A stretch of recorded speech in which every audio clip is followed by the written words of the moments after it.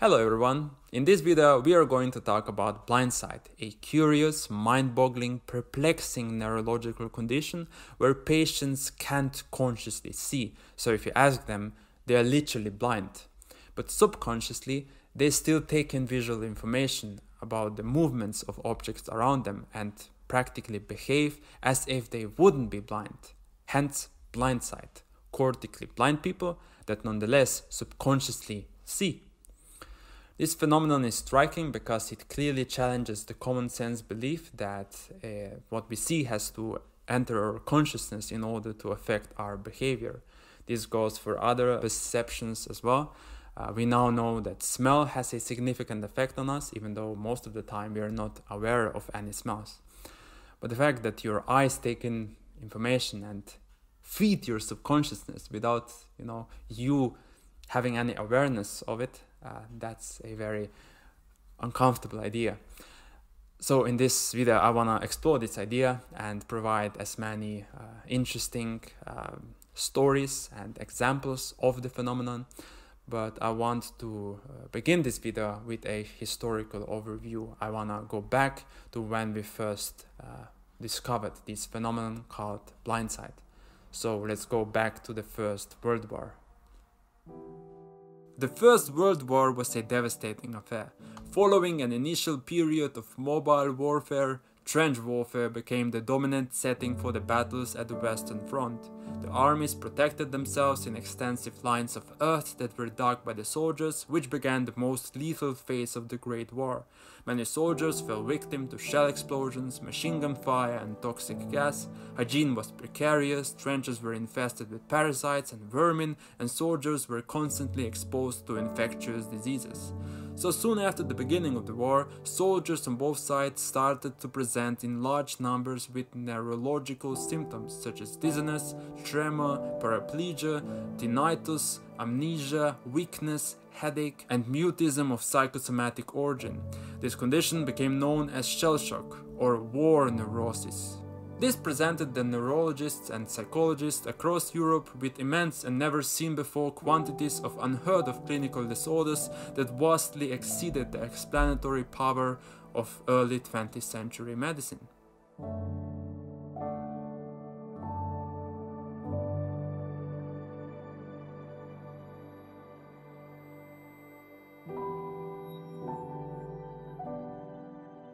One neurologist that described some perplexing phenomena of patients blinded by gunshot wounds was George Riddoch. As he reported, the patients who were blinded by damage done to the primary visual cortex could somehow be conscious of seeing objects move even though they were cortically blind. This led to some curious observations of those blind veterans that, for example, would use a rocking chair or just the movement of their head so that the non-moving surroundings would be put to relative motion to their head, which would allow them in some sense to see. This phenomenon is now called Riddoch syndrome, one of the many conditions on the spectrum of different types of blind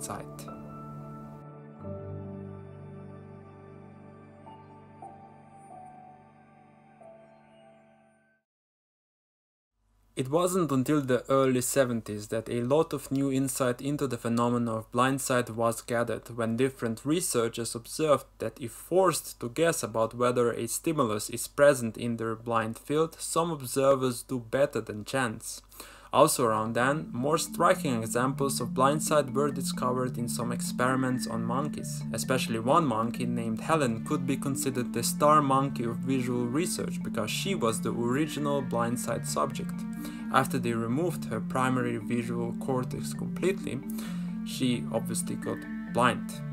Nevertheless, under certain situations, Helen exhibited sighted behavior, her pupils would dilate and she would blink at stimuli that threatened her eyes. Furthermore, under certain experimental conditions, she could detect a variety of visual stimuli, such as the presence and location of objects, as well as shape, pattern, orientation, motion, and color. In many cases, she was able to navigate her environment and interact with objects as if she were sighted. So it seems that even though none of the visual information about her surroundings were given to her consciousness, her subconsciousness did take in all of that and took care of all of the processes that were needed for normal behavior. Since then, researchers applied a similar type of tests that were used to study blind sight in animals to human test subjects. In 2003, a patient known as TN lost use of his primary visual cortex after he had two successive strokes, which knocked out the region in both his left and right hemispheres. After in 2008, researchers began to notice that the patient exhibited signs of blind sight, they decided to test their theory. They took TN into a hallway and asked him to walk through it without using the cane he always carried after having the strokes.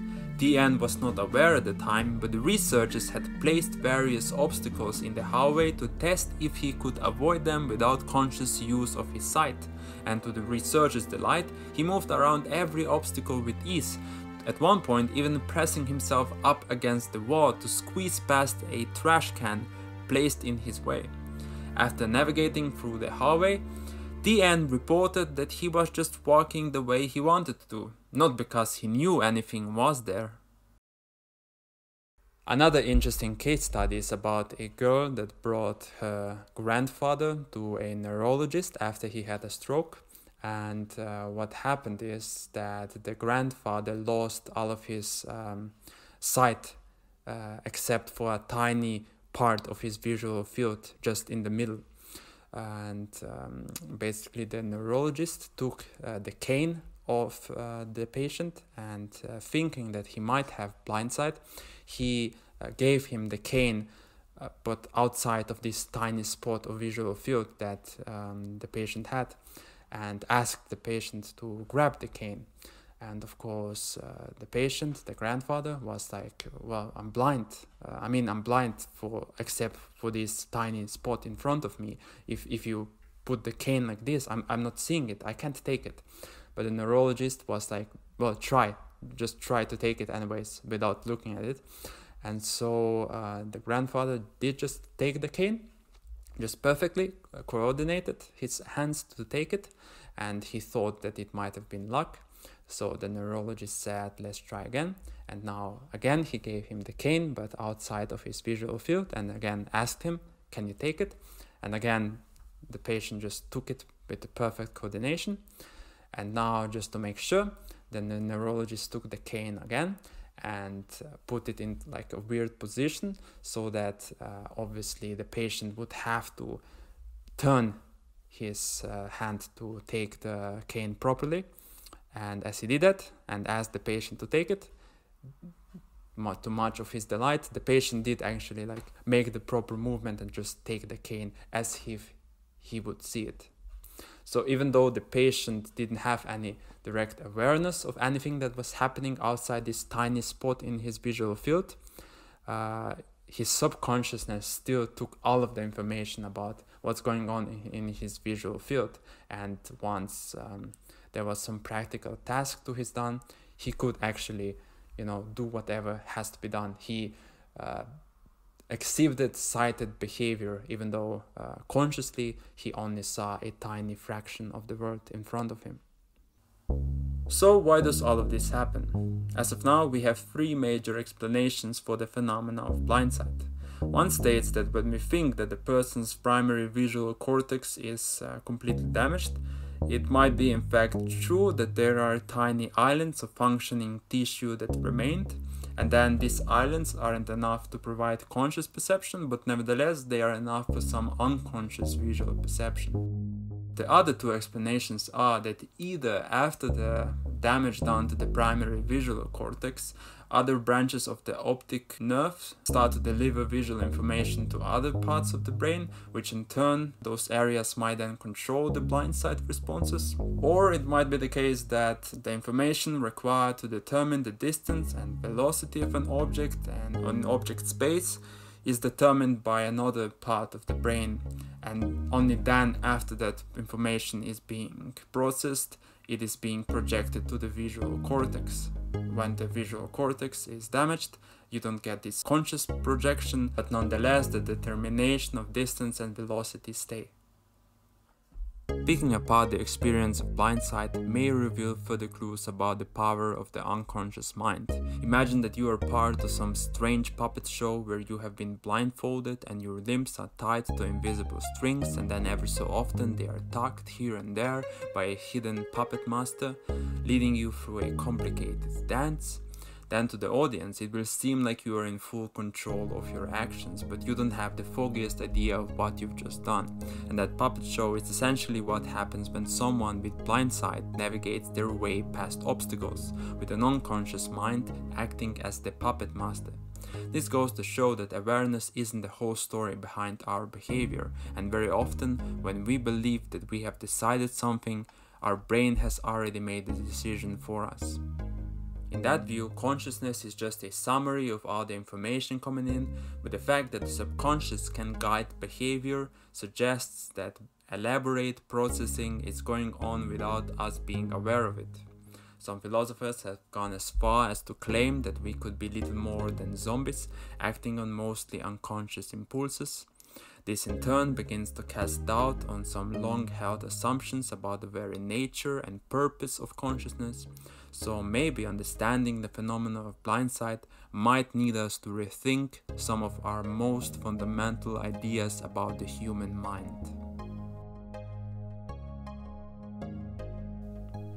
Okay, and that's it for this video. Thank you for watching. Uh, I just really wanted to explore this interesting phenomenon of blindsight, even though I'm not a uh, well a neuroscientist and or cognitive scientist for that matter. Um, so of course. Uh, you are very much invited to check out the links and uh, uh, sources that I have linked in, in the description. Um, but yeah, uh, that's just a very interesting, philosophically speaking, a very interesting phenomenon.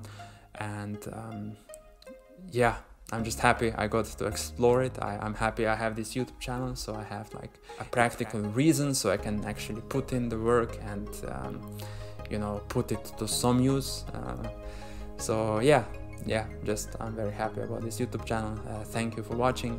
Uh, today is also uh, well it happens to be just two years since i uploaded my first philosophical video uh, occam's razor uh, my first try at youtube. And uh, the only time I, I succeeded to convince the algorithm to like me apparently.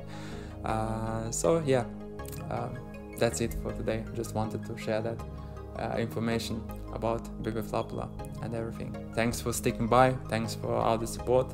I appreciate that a lot. So uh, thank you. Uh, see you in the next video.